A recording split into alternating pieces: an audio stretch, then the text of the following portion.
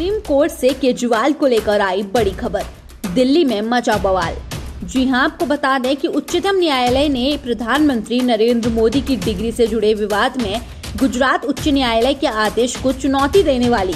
दिल्ली के मुख्यमंत्री अरविंद केजरीवाल की याचिका शुक्रवार को खारिज कर दी। उच्च न्यायालय ने गुजरात विश्वविद्यालय द्वारा दायर मानहानि मामले पर रोक लगाने के अरविंद केजरीवाल के अनुरोध को खारिज कर दिया था। आरटीआई अधिनियम के तहत पीएम मोदी की डिग्री के बारे में जानकारी प्रदान करने के मुख्य सूचना आयुक्त के आदेश को गुजरात उच्च न्यायालय द्वारा रद्द करने के बाद गुजरात विश्वविद्यालय के रजिस्ट्रार पीयूष पटेल ने केजरीवाल और आम आदमी पार्टी नेता संजय सिंह के खिलाफ उनकी कथित टिप्पणी को लेकर मानहानि का मामला दायर किया था। न्यायमूर्ति संजीव खन्ना और न्यायमूर्ति एस वी एन भट्टी की पीठ ने कहा कि वह याचिका पर नोटिस जारी नहीं कर रही है, क्योंकि मामला गुजरात उच्च न्यायालय के समक्ष लंबित है।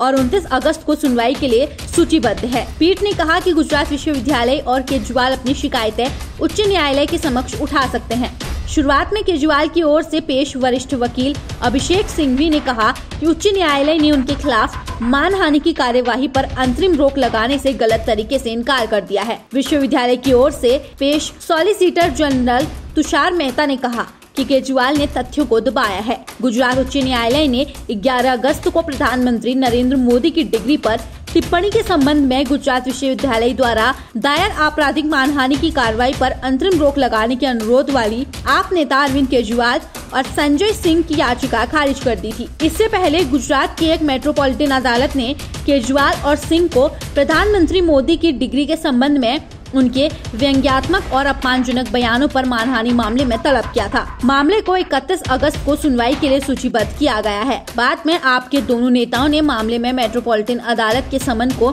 चुनौती देते हुए सत्र अदालत में एक समीक्षा याचिका दायर की। फ़िलहाल आप इस खबर के बारे में क्या सोचते हो, समझते हैं? हमें कमेंट करके ज़रूर बताइए। न्यूज़ डेस्क से प्रिया।